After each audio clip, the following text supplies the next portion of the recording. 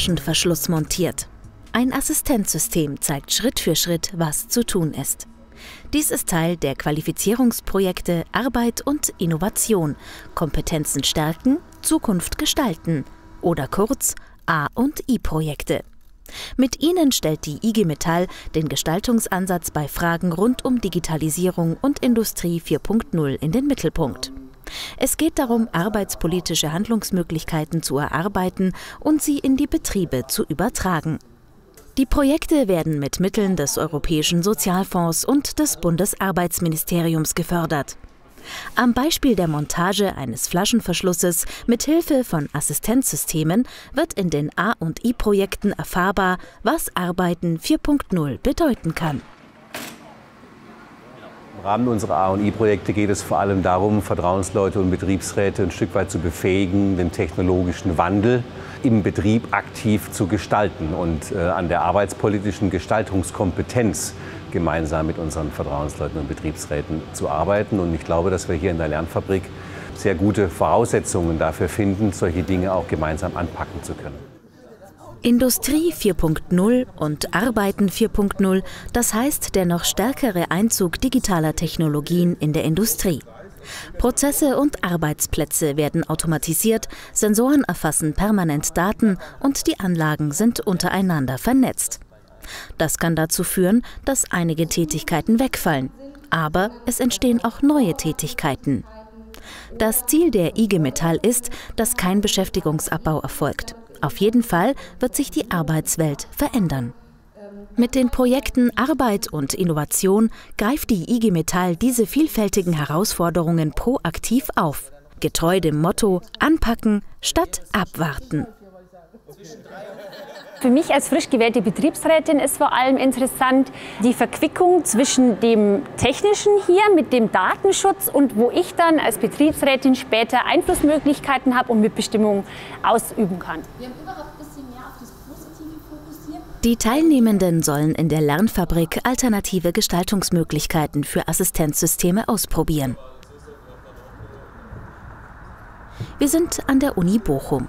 Unter der Leitung von Professor Kreimeier wurde hier eine Lernfabrik aufgebaut. Eine Lernfabrik ist ein Ort mit einem realitätsnahen Produktionsumfeld. Das heißt, wir haben reale Maschinen hier im Einsatz, wir haben moderne Maschinen, wir haben aber auch ältere Maschinen. Das heißt, wir bilden hier so ein kleines mittelständisches Unternehmen ab, wie man das eben auch in der Praxis vorfindet.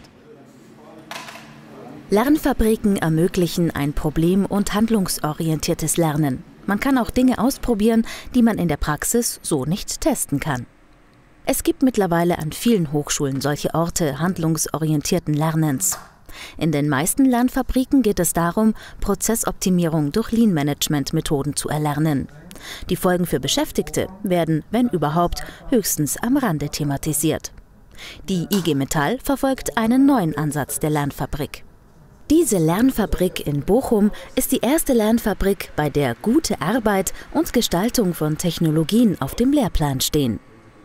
Es kommt nicht nur auf die Technik an. Menschen und ihre Bedürfnisse müssen bei der Gestaltung gleichrangig berücksichtigt werden.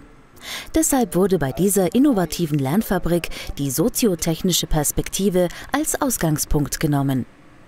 Das bedeutet, die Gestaltung von Arbeit und Technik erfolgt beteiligungsorientiert und sie zielt auf Humanisierung, was auch Möglichkeiten zum Lernen im Prozess der Arbeit beinhaltet. Die Arbeit und Innovation Lernfabrik verfolgt damit einen arbeitspolitischen Ansatz. Sie zeigt, dass Technik und Arbeit gestaltbar sind. Das Ziel der Gestaltung soll sein, dass der Mensch im Mittelpunkt steht.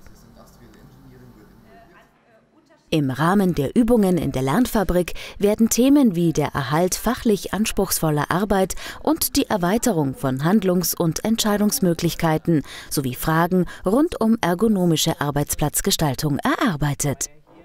Dazu bewerten die Teilnehmenden Arbeitsprozesse mit Hilfe von Analyseinstrumenten. So können sie besser die Qualität der Arbeit einschätzen und Veränderungsideen entwickeln. Die Universität Bochum bietet sich als Partner an, weil es dort seit vielen Jahren eine gemeinsame Arbeitsstelle von IG Metall und Ruhr-Uni gibt. sind natürlich viele Herausforderungen, die zu erwarten sind. Es gibt natürlich sehr viele Studien zu den Beschäftigten, Beschäftigungseffekten von Industrie 4.0. Äh, letztendlich, welche Arbeitsplatzeffekte es haben wird. Aber die große Herausforderung ist natürlich, die Beschäftigten, aber auch die Betriebsräte so zu qualifizieren, dass sie diesen Prozess begleiten können und nicht zu einer weiteren Polarisierung zwischen Technikentwicklung auf der einen Seite und humanzentrierter Entwicklung auf der anderen Seite kommen kann. Also Beteiligung von Beschäftigten, aber auch von Betriebsräten. Auch ihre Qualifizierung ist ein, ein wesentlicher Punkt, den wir hier auch versuchen in der Lernfabrik, aber auch schon mit den Studierenden, Ingenieuren und Sozialwissenschaftlern zu diskutieren. Betriebsräte und Vertrauensleute sollen in der Lernfabrik lernen, proaktiv mit diesen Veränderungen umzugehen. Das heißt, nicht warten, bis die Veränderungen konkret anstehen und kaum Zeit zum Handeln bleibt, sondern sich frühzeitig ein eigenes Bild von möglichen Veränderungen machen.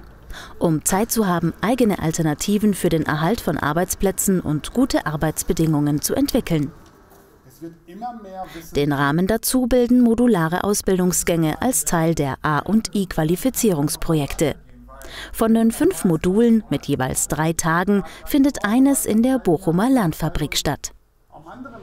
Mit Industrie 4.0 Anwendungen äh, ist es wie mit technologischen Wandlungsprozessen im Allgemeinen eben, dass sich damit letztlich Chancen und Risiken äh, verbinden.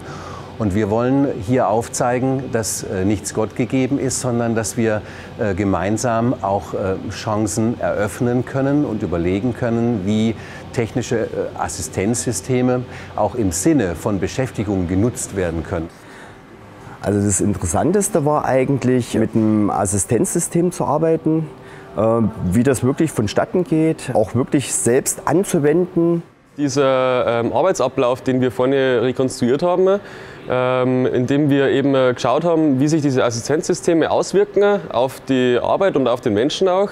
Und es äh, war einfach interessant, dann den Wechsel zu sehen zu der verbesserten Version, wie man damit arbeiten kann. Und ja, jetzt kommt nochmal ein Durchgang, nochmal etwas verbessert. Und darauf bin ich jetzt gespannt und schau mal, was dabei rauskommt.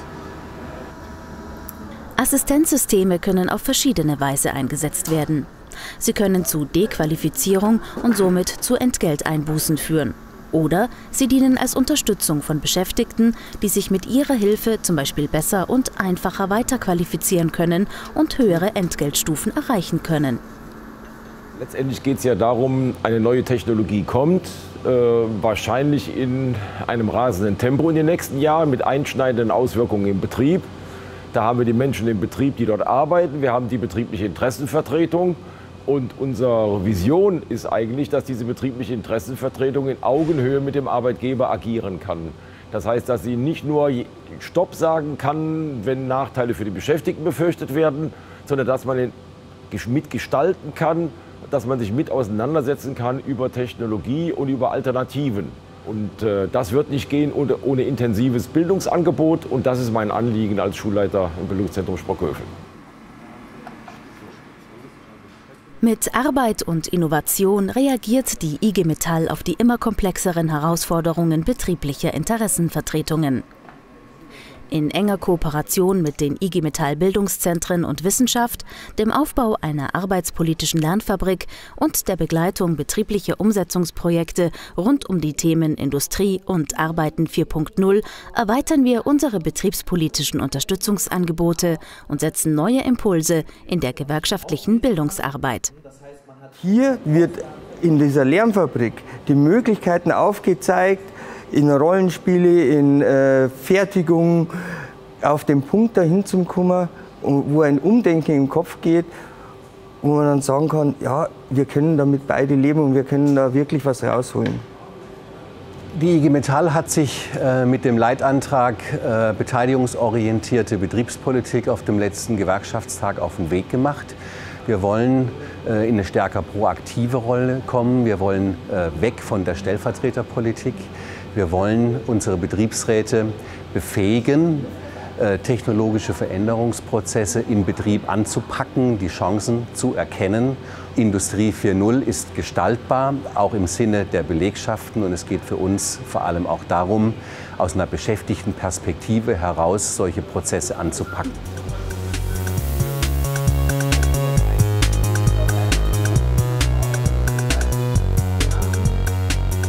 Ich fand's super in der Lernfabrik. Arbeit und Innovation. Wir machen Zukunft.